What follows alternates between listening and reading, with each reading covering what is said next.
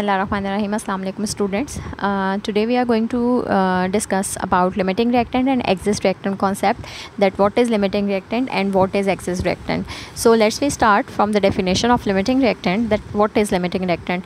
The reactant uh, the reactant which is producing least number of moles. This is the first definition. If you remember whenever we are going to perform any numerical what we do first at the first step. We just calculate moles. So we uh, for example suppose kijiye ki we have two different kind, kinds of uh, reactants given.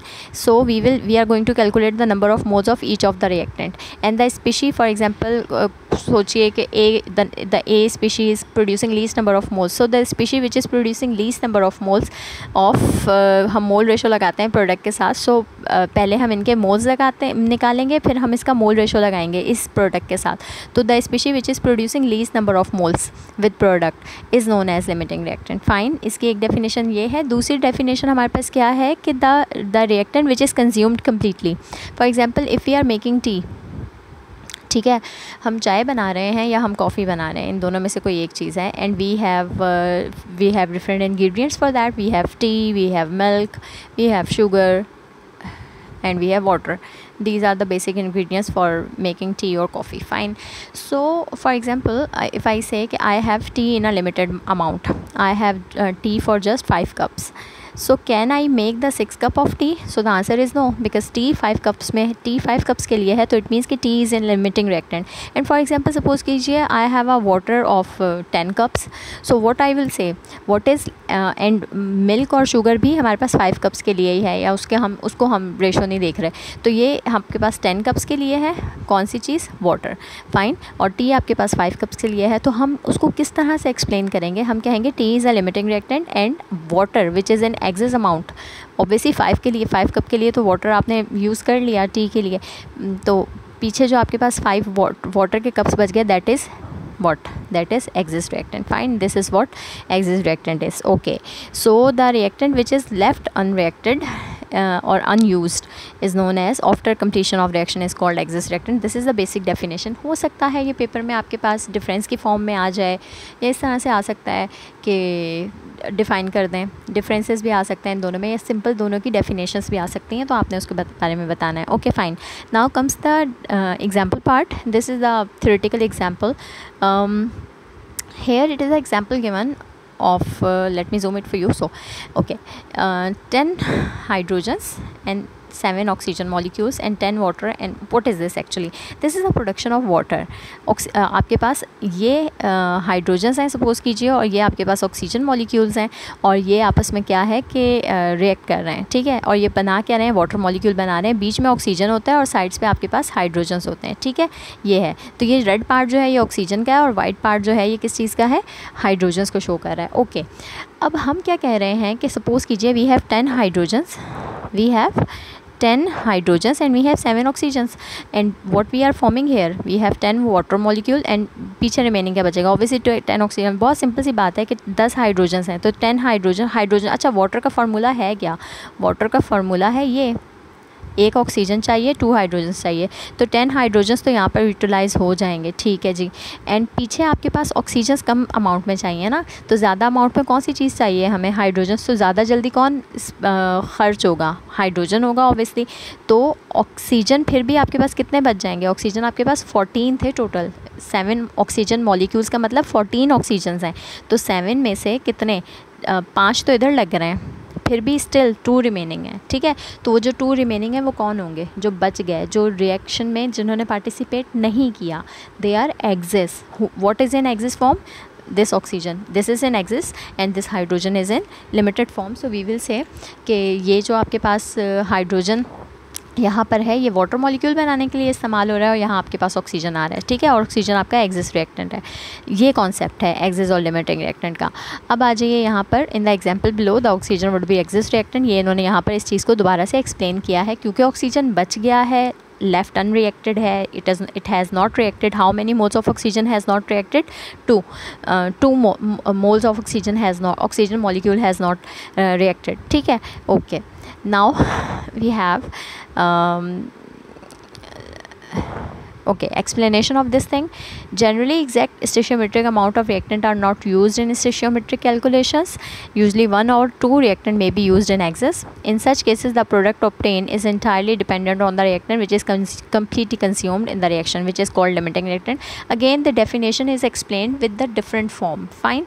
We will explain this according to the uh, this equation for example in this equation SO2 is uh, limiting reactant और oxygen is an excess reactant अच्छा हम लोग सिर्फ़ equations देख के नहीं बता सकते कि this is excess and this is limited और equation से तो हो सकता है हमें कुछ भी समझ में आ सकता है basically this these kind of uh, this is a numerical based question and it is performed with the help of numericals and we do calculate uh, moles and we apply mole ratio and then we calculate mass of that particular जो भी जिस भी चीज़ का पूछा जाता है उसके बारे में में हम मालूम करते हैं, ठीक है?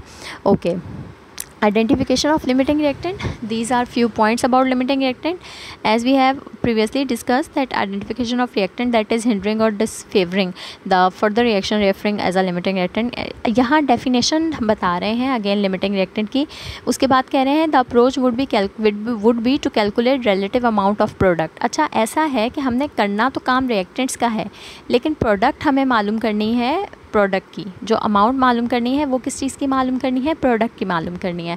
तो होता क्या है, करते क्या है कि पहले हम इनके मास इन ग्राम गिवन होंगे उससे, उसे आप यूज़ करोगे किस लिए? उसे आप यूज़ करोगे मोल्स कैलकुलेट करने के लिए। ठीक है? मोल्स कैलकुलेट करने के बाद, क्योंकि मुझे इसका मास चाहिए सपोज़ कीजिए तो मैंने, मुझे इनके मास इन ग्राम्स गिवन थे। तो मैंने इनके मोल्स कैलकुलेट किए। किसके?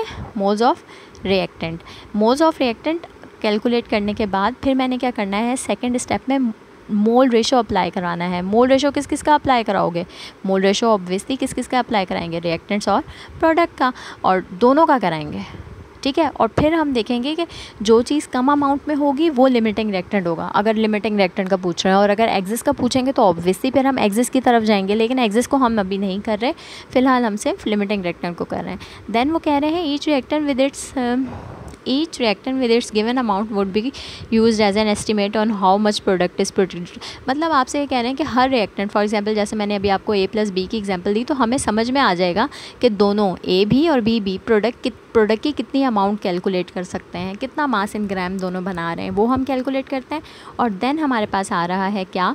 The reactant that give us relative larger amount of product would be consider as limiting reactant again reactant में से जो चीज़ हमें कम अमाउंट देगी प्रोडक्ट की, वो लिमिटिंग रिएक्टेंट होगा। There comes an example here okay this is the example एक minute ji.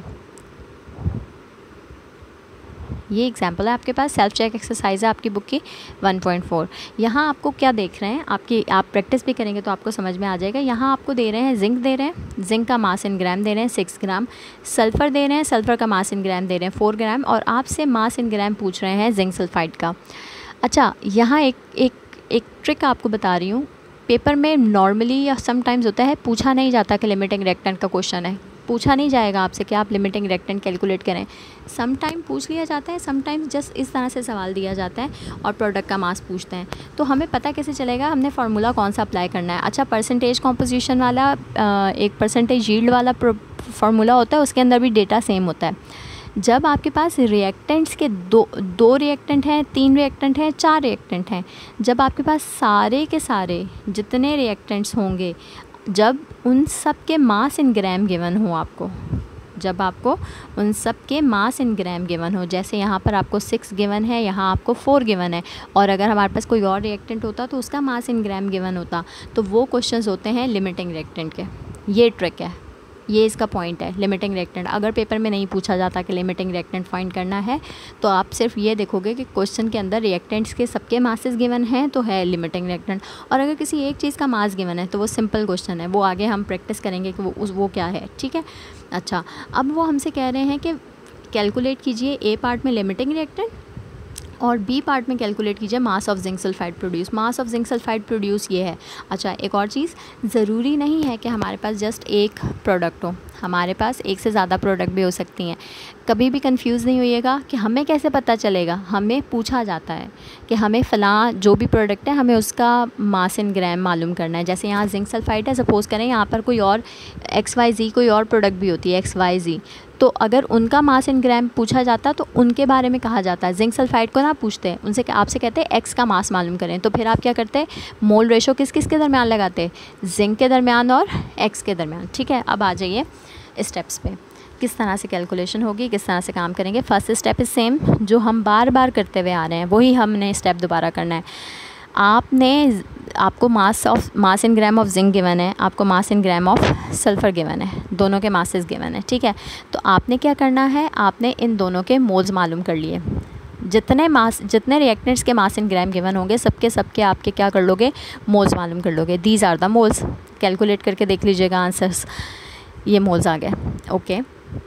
Now on the second step what you will do you are going to perform the mole ratio mole ratio between what you are going to uh, calculate what you are going to calculate about the zinc sulfide so you are going to apply the mole ratio between zinc sulfide and zinc first and then sulfur and zinc sulfide it is a very simple reaction that's why यहाँ पर तो one ratio one का ही दोनों के अंदर case निकल रहा है तो जितने मोल्स आपके पास zero point zero nine one के जिंक के थे उतने ही जिंक सल्फाइड के हैं सिमिलरली सल्फ़र के जितने थे उतने ही इसके हैं लेकिन अगर ऐसा ना होता, अगर मोल्स डिफरेंट होते वन की बजाय कुछ और होता तो आप किस तरह से जैसे आपको पीछे प्रैक्टिस करवाई है मोल रेशो की, आपने बिल्कुल उसी तरह प्रैक्टिस करनी है मोल रेशो कैलकुलेट करना है और फिर चेक करना है किस चीज़ के मोल्स फिर आपने चेक करना है किस चीज़ के नंबर ऑफ़ मोल ज़्यादा बन रहे हैं।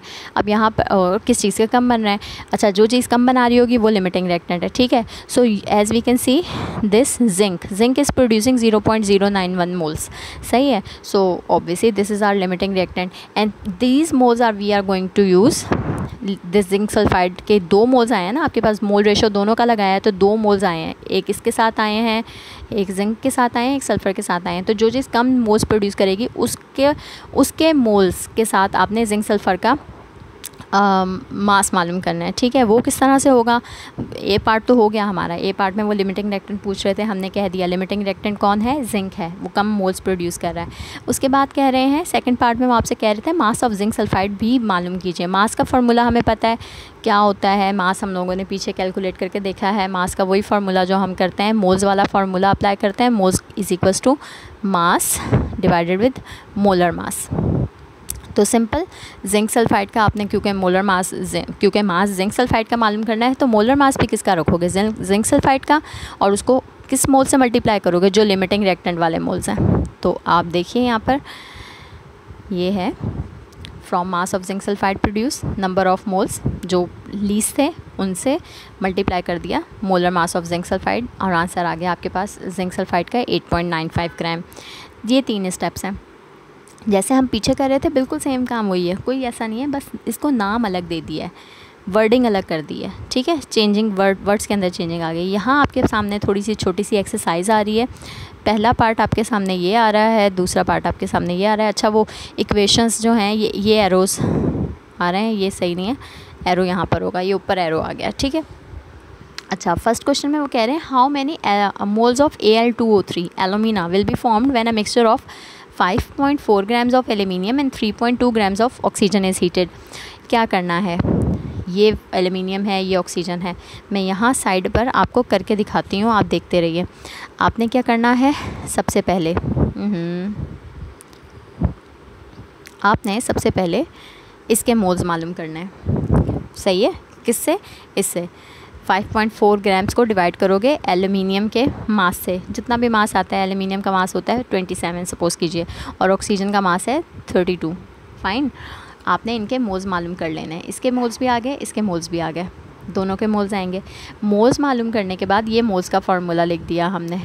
उसके बाद मोल्स मालूम करने के बाद आपने अप्लाई करना है मोल रेशो मोल रेशो किस चीज़ का अप्लाई करोगे? मोल रेशो अप्लाई करोगे एलुमिनी एल्यूमिनियम का किस चीज़ के साथ? एलुमिना के साथ। आप स्टैंडर्ड रिलेशन लगाओगे, मैं यहाँ लिख देती हूँ डिफरेंट कलर से लिख देती हूँ।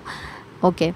आप कहोगे four moles of aluminium produce how many moles of alumina two because as per equation it is given it's two so आपका जो इसके मोल्स आए होंगे ना, वो आपने यहाँ रखने सपोज़ कीजिए वो आ गया thirty two I am just telling you कि सपोज़ कीजिए थर्टी टू कैलकुलेशन क्या? रूल्स मैंने आपको बताए हैं। क्रॉस कैलकुलेशन होती है।